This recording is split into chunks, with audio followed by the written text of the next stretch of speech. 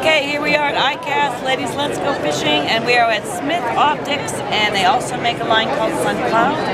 And we're speaking with Kate, she's going to tell us about it. Hi, so new for the show, we've got a couple new models. We have the new Walcott and Redmond. So brand new fishing models for us, both featuring um, all of our premier and proprietary lens technologies. We offer Techlite glass at the highest level, and then ChromaPop Plus, which is a light management and color clarity lens filtration system, and then ChromaPop polarized in a polycarbonate. So good, better, best system depending on what you want and where you want to fish. And you need the best lenses to see the fish. Whoever sees the fish first catches the fish first.